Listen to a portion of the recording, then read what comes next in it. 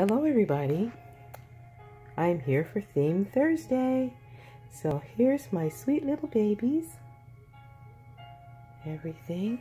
This is my baby by Claire Taylor. I painted her myself years and years ago. She is due for a makeover and I'll be working on that and everything. Give her a little bit more color and everything. So yeah. So her little outfit, she has little deer on her little onesie today and everything. She's up and she's awake, but she's a very good baby. She's pretty quiet all the time. So there. And so then we have Luke by Georgia Piggott. I hope I'm saying that right.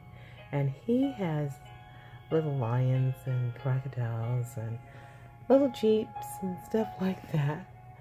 So this is our theme Thursday.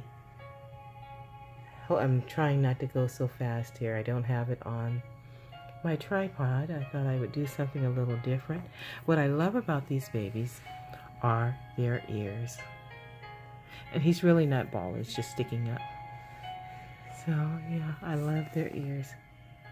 So, anyway, well, thank you guys for watching. I thought I would share some of my babies I've had for several years now. And, uh, yeah. So have a great day, everybody. Don't you love those toes? Look at those toes. It's got the fattest feet. All right. Bye-bye.